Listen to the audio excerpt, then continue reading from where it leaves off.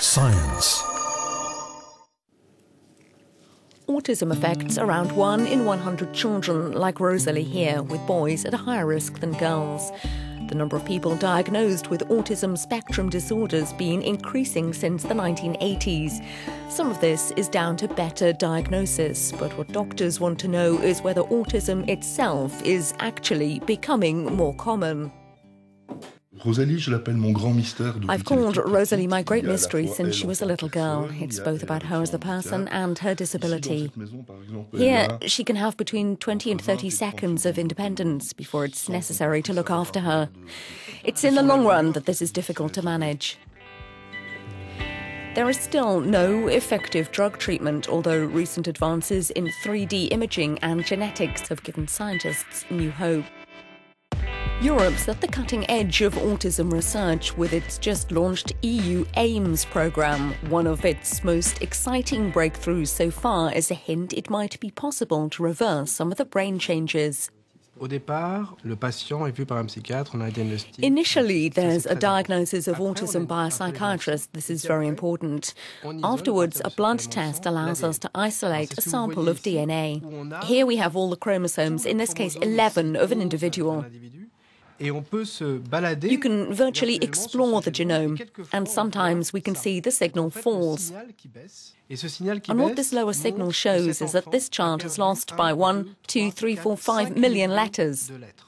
And when he's lost 5 million of these letters, he's also lost all his genes. In the lab, we try to understand, among all these genes, which is or which are the genes responsible for autism in this person.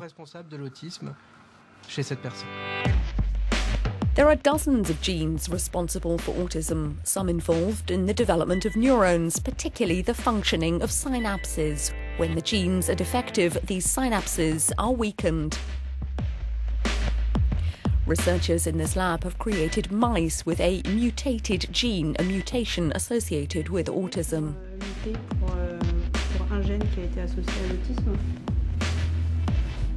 In the first tray, there are two normal mice. In the second, there is one normal mouse and one mutant mouse.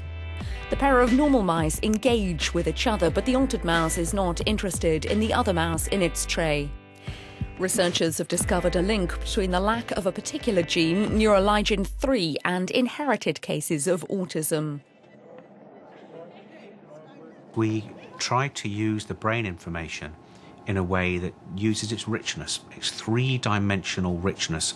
So, if you imagine, for example, the surface of the brain looks like the Alps or the, the surface of a planet.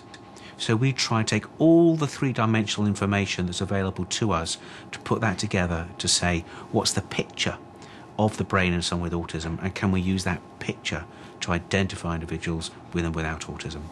The hope is that these developments will pave the way for a faster and more reliable diagnosis for autism and eventually a treatment.